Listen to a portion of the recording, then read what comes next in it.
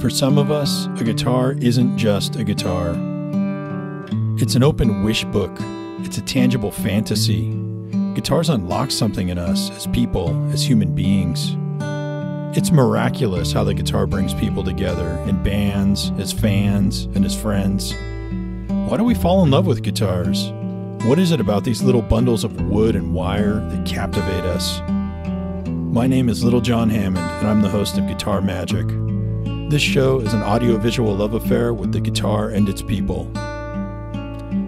Most guitar shows out there offer answers, but this show is about exploring the questions, the really deep questions. I'm setting out on a journey, and the point of departure are the things I've wondered since the beginning. What is this magic, and how can I feel more of it? If you believe in the guitar like I do, jump in the van. Let's see if we can find the magic together.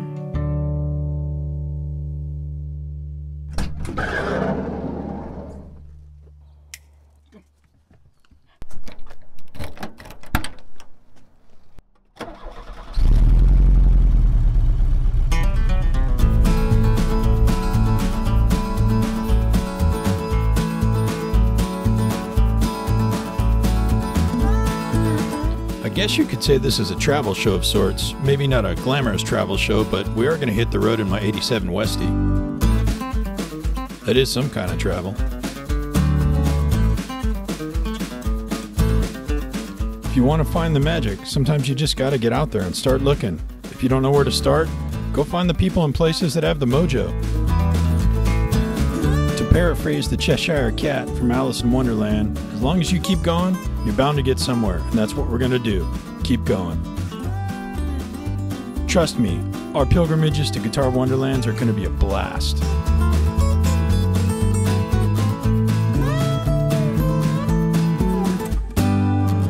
The bread and butter of this show is going to be guitar in hand interviews with iconic players and friends of the instrument. You can expect some questions that really illuminate the human depth of our tribe. We'll probably do some shop hopping through some of our favorite guitar stores, see what's new, and try out our best guitar store riffs. When I can finagle it, we'll try to get a few lessons with some of the cats we all look up to. Just for fun, I'm going to try and squeeze in a few playdates so I can jam with my pals. And I can guarantee that we're never going to miss a chance to stand shoulder to shoulder at the workbench alongside a master craftsman. Aren't you a little bit curious where all of these objects of obsession come from?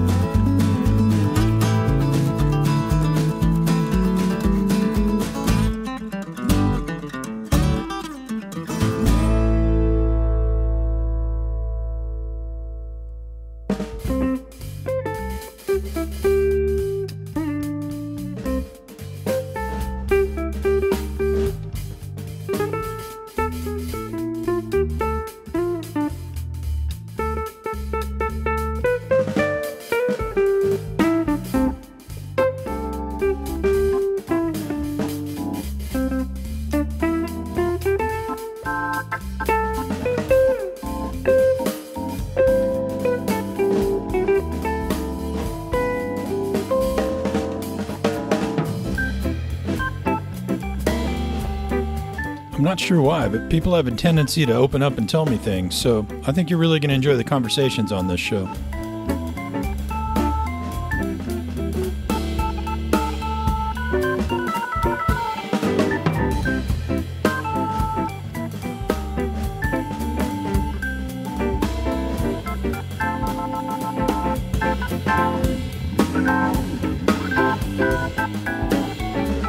Party can't last forever, but we'll make a lot of new friends.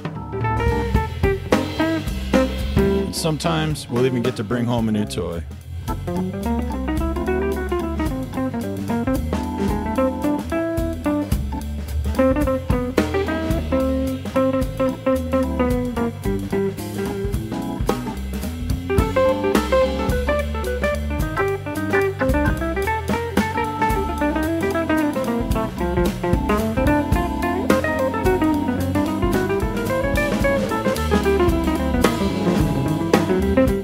about you, but driving home is when I like to reflect on the day. You know, take a little inventory of what happened, think about where to go next.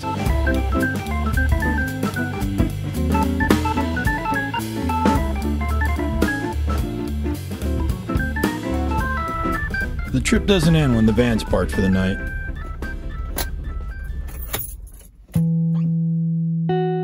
Part of the journey is the internal work that we have to do. It's how we apply the knowledge or how we use the gear. What can a new guitar inspire? Can an old dog like me learn new tricks? Is it too late for me to be a late bloomer? I don't know if I'll ever find the answers. I guess time will tell. For what it's worth, I'm going to document a bit of my personal journey on this channel too. I'll show you what I'm practicing. I'll try to be honest about the musical struggles I'm sorting out. I'll show you what's inspiring me to keep on pushing. Once in a while, when the guitar mercifully whispers one of its secrets in my ear, I'll play a little ditty for you. I may not be a brilliant musician, but I have my moments, and you might enjoy seeing a regular guy trying his best. Consider me a case study of a guy who's chasing the magic.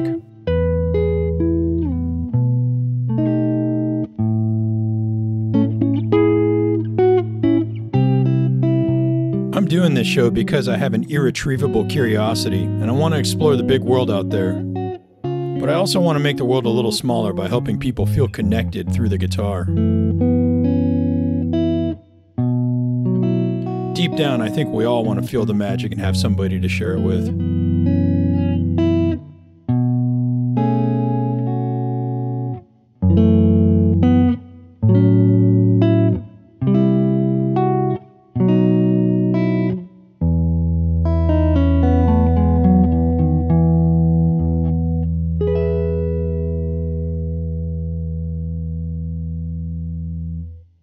If you enjoyed this video, please hit the like button. If you believe in the magic, subscribe to the channel. And if you want to come along for the journey, ring the bell and you'll never miss a trip. It'll be my pleasure to have you riding along as we chase the guitar magic.